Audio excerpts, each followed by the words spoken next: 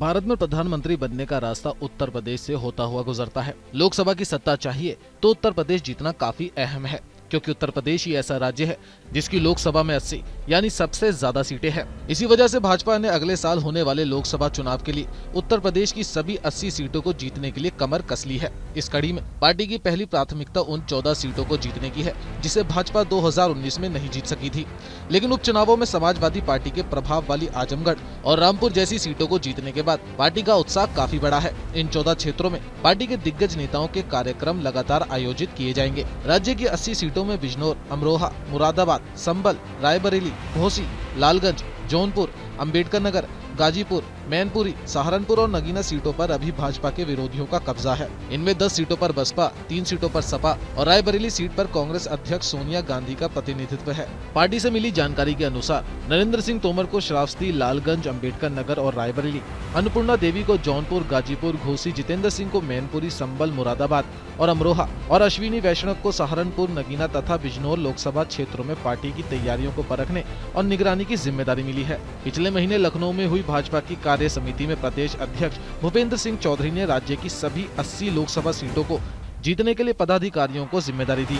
इस कड़ी में राजनीतिक और सामाजिक समीकरण साधने के साथ ही पार्टी ने केंद्र और राज्य सरकार की विभिन्न योजनाओं के लाभार्थी समूहों के साथ बैठक करने और कोर कमेटी और बूथ कमेटी से लेकर समाज के सक्रिय वर्गों से संवाद शुरू किया है। भाजपा के राष्ट्रीय अध्यक्ष जगत प्रकाश नड्डा ने कार्यालय बढ़ाए जाने के बाद 20 जनवरी को अपनी पहली उत्तर प्रदेश यात्रा गाजीपुर संसदीय क्षेत्र में की, जहाँ उन्होंने पूर्व सैनिकों से लेकर बूथ कमेटी और समाज के प्रमुख वर्ग के लोगों से सीधा संवाद किया।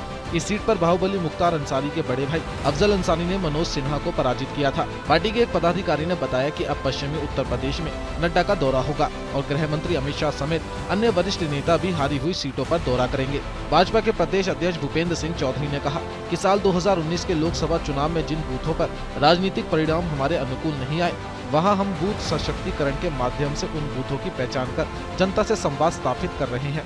और भाजपा सरकार की जल कल्याणकारी योजनाओं को उन तक पहुँचा रहे हैं। अपना दल के साथ गठबंधन कर साल 2019 के लोकसभा चुनाव में भाजपा ने राज्य की 80 में से चौसठ सीटें जीती, जबकि कांग्रेस ने एक, सपा ने पाँच और बसपा ने दस सीटें जीती थी। तब सपा, बसपा ने मिलकर गठबंधन में चुनाव लड़ा था। हालाँकि पिछले साल हुए उपचुनावों में आजमगढ़ और रामपुर सीट भाजपा ने सपा के कब्जे से छीन ली, लेकिन मैनपुरी सीट बचाने में सपा कामयाब रही। हालाँकि सपा संस्थापक मुलायम सिंह यादव के निधन के बाद उनकी मैनपुरी सीट पर हुए उपचुनाव में भाजपा को सफलता नहीं मिल सकी। आज़ादी के बाद से ही इस सीट पर जनसंघ या भाजपा को कभी भी जीत हासिल करने का मौका नहीं मिला।